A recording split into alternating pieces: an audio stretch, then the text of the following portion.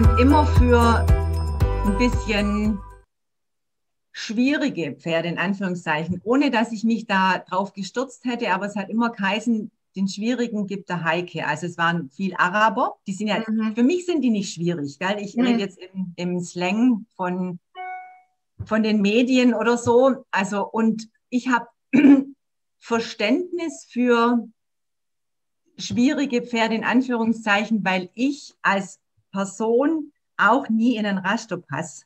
Ah. Und ich bin tatsächlich, jetzt bin ich 51, jetzt bin ich psychisch gereift oder charakterlich gereift, aber früher war das Leben für mich nicht so einfach. Es gibt jetzt keine großen Depressionsgeschichten oder so, aber ich habe mich oft nicht zugehörig gefühlt, nicht passend, nicht verstanden. Mhm. Und ich glaube, aus dem raus kommt es, dass ich Verständnis habe für schwierige Pferde. Ja, gab es diese Resonanz für die nicht verstandenen. Ja. Mhm. Genau, genau, genau, so kann man es ausdrücken. Ja, ja. Und die kamen dann einfach und dann habe ich viel junge Pferde geritten und, und viel angeritten und habe gespürt, wie die einfach sich entwickeln auf positive Art und Weise, weil es ist ja nicht es ist ja nicht einfach und erstrebenswert, schwierig zu sein. Das habe ich für mich auch festgestellt. Man, man, man ist alleine. Und ich kann mir vorstellen, dass Tiere oder Pferde auch, wenn sie in sich gefangen sind, alleine sind. Mhm. Mhm. Es ist einfach nicht, nicht viel Kontakt oder Austausch oder mhm. man ist so in seinem Gefangen.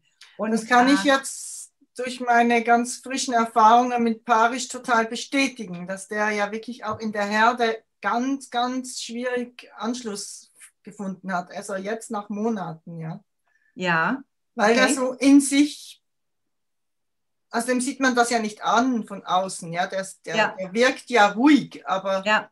in, in ihm drin hat es irgendwie ge, gedreht oder weiß ich, kann, kann das gar nicht beschreiben, aber es war gar nicht ruhig und er war wie nicht zu fassen und hat sich auch komisch verhalten. Ja, genau. Und nicht nur Menschen gegenüber, sondern dann eben auch in der Herde. Mhm. Mhm. Genau, und von außen sieht man das nicht und man fühlt sich aber nicht gut dabei. Ja. Also ich kann das von mir jetzt sagen. Und wenn man diese Pferde einfach aus ihrer Reserve lockt und die über die Arbeit zum Strahlen bringt, alles löst sich, die Muskulatur verändert sich, Takt hat ja auch was mit Psyche zu tun. Mhm. Ähm, reines Gehen und Schwung hat was mit Freude zu tun. Und, ähm, und wenn, als ich das dann gespürt habe, wie die, wie die werden, da habe hab ich mich auch gefreut und mein Körper. Und irgendwie so mhm. versuche ich mit den Pferden zu arbeiten und das funktioniert gut.